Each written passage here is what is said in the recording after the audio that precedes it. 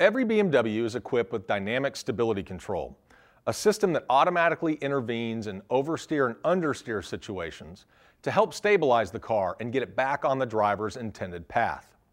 If this indicator lamp flashes while driving, it indicates that DSC has engaged in order to assist the driver.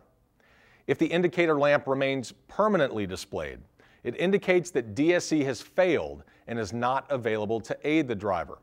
If this occurs, contact the nearest BMW center right away to schedule a service appointment.